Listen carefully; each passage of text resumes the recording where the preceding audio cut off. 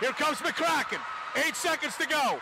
McCracken, Penichu for three in the win. Bang! Bang! Bang!